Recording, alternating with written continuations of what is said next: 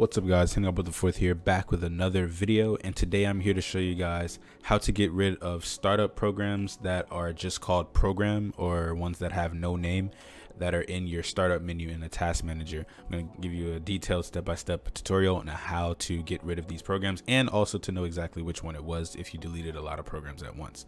So without any further ado, let's get into it. So if you don't know how to get to your startup programs or how to get to this menu, um, it's in the task manager. You can either type it in here, task manager, or you can control delete. I think it's also in there, control delete task manager.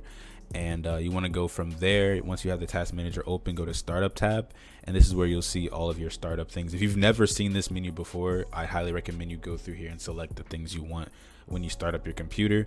Um, but you'll you probably came to this video because you've seen this and you saw that there was a program called program and you didn't know what it was and you didn't know how to get rid of it. I'm going to show you guys how to do that. So what you want to do is go ahead and open up your system information screen and you can get to that by going to the search box, typing in system information. It'll be right there and you'll get a screen that looks like this. Uh, you'll just have like the columns over here on the left you'll see system summary and then three subsections. It'll be um, hardware resources, components, and software environment. You want to go to software environment.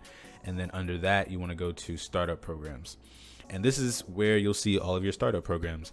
And the one you want to look for is the one that doesn't have a name or it's like a net dot this or something dot this. Is not like an actual name. Or you can just match it to the ones that are on your page. So if you look at my screen you'll be able to see that i have um, Adobe Reader Synchronizer, which matches to Adobe uh, Collaboration, Logitech Download Assistant, which is Logitech Download Assistant, Security Health, which is Windows Security Notifications, and Steam is Steam.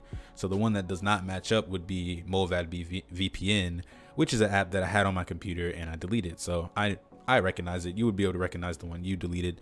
And to get rid of it, all you have to do is go to this location right here in the registry. So you want to keep this open and you would go back to your search box, type in registry editor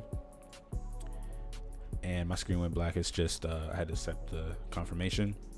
Let's get this out of the way now that we know what it is.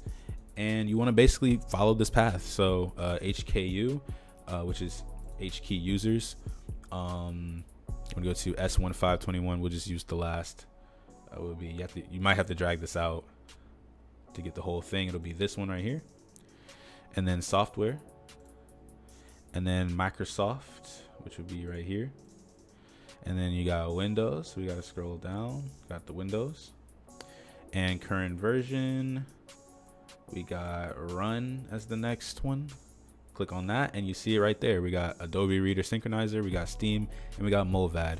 You want to get rid of it? Right click, delete, yes. And when you close this out,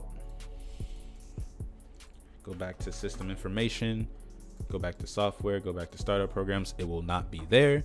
And when you close and open your actually you don't even have to close it it's gone already. So that is how you successfully get rid of any startup programs that are just called program or have no name in your task manager. I hope you guys enjoyed this quick tutorial. I tried to keep it as slim as possible. If you enjoy more content like this check out i have some more tutorials on my channel if you have any other problems with windows stuff like that. I also do gaming content and all types of stuff. So if you want to you know i'm saying stay tuned to my channel and updates hit that subscribe button. And if i helped you out if i truly helped you out you got some enjoyment got some value out of this video be sure to hit that like button. I'd surely appreciate the support. And without with that being said i'm henry the 12 and i'll catch you guys later man. Peace